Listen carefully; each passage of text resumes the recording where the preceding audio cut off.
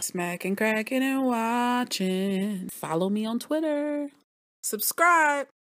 Season finale, people. This is it. We've watched it. We've seen it happen. And now we know how it ended. In the Marshes. Liar, season one, episode six. This episode is Cop the Marshes. We now know exactly what he used. A small vial, almost similar to those little testers that you get at the like Nordstrom's or Macy's, you know, to test the perfume and see how it smells on you. Do you like it? So he almost had another victim. She was too slow with the syringe sample, and it was a good plan, but sloppy execution. Ay, ay, ay.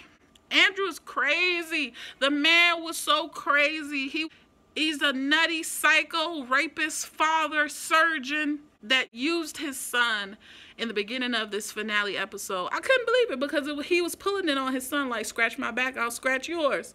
It was the biggest guilt trip that he laid upon his son. Crying, it was just messy. I couldn't believe it. Using your own son as your alibi, shady man. One point I had to say to myself, are they in a small town to where the pickings are just so slim to where your sibling is dating your boyfriend on some on some sneak stuff and your date's son is your student you know this alleged rapist is just all over the place man he, he's also the the sister's co-worker the issue in this episode was he was about to strike again. There was this unsuspecting blonde who was walking into God knows what. I was just shocked that she wasn't familiar with this whole social media fiasco that happened, this, his whole background. And it was nuts because he has a type. She looked like Laura Nielson. That phone call, that phone call that occurred was shocking. He made that phone call outside of her bedroom window just to make her feel weak. Straight stalker mode. I play that back, Laura, whenever I get a chance. I caught it, and she caught it too. Laura found Mia. She found Mia. And I said, as soon as they introduced us to his mother or aunt, whoever that lady was, I said, dang, uh, they're going to have to get into that shed. Somehow they're going to have to get it back to her. And they quickly made the scene cut to her. Um, it was a big move. How she did it, I don't know but this chick it will she is it, it could be called liar it could be called stalker this series. But she lies her way into the shed and she finds the vials. She finds the sd cards. Multiple vials multiple cards. It was nuts.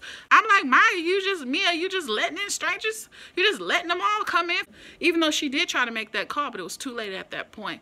When when laura stopped in traffic to go over what she had collected I'm saying to myself, she should have beeline to the police. Beeline to the police because I felt he was going to T-bone her car and it was just going to be bad and both of them would die. That's how I thought it was going to go. So they issued a warrant and Andrew took off. He ran, he disappeared.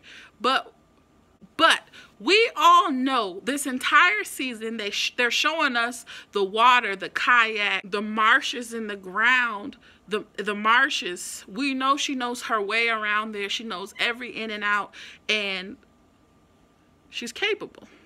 She's capable of hurting someone, bringing him out there, getting rid of him and no one would know. The throat was slit. His Andrew's throat was slit. He was dead in the marshes. Wow. It's been almost a month, three weeks trying to locate this guy.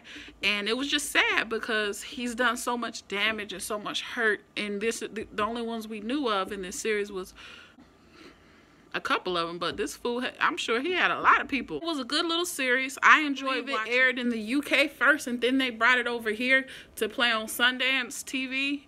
Like, I, at first, initially, I was Team Andrew. I believed him.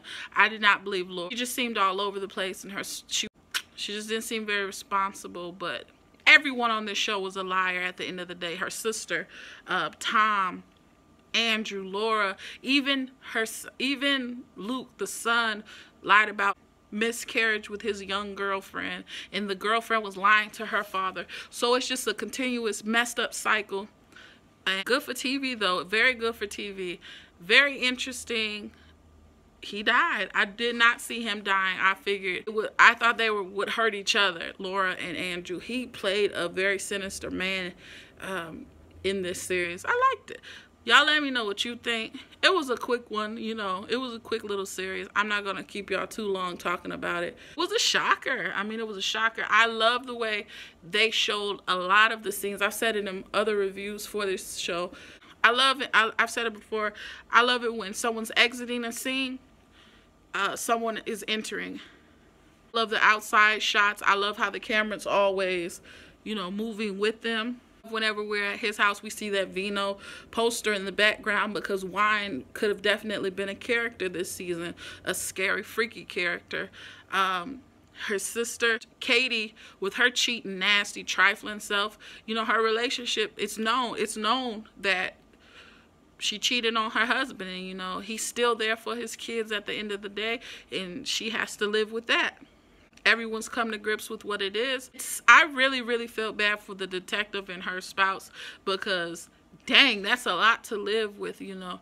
That is a lot to live with with someone growing inside of her. My goodness. Um what do you guys think about this episode? What do you think about this whole series? Would you recommend it for a friend? Did you enjoy it? Do you think it was whack? Do you like the way it ended? Let me know. Anyways, like I said, I'm not gonna keep y'all long because it was a it was a quick show. Until the next time, peace.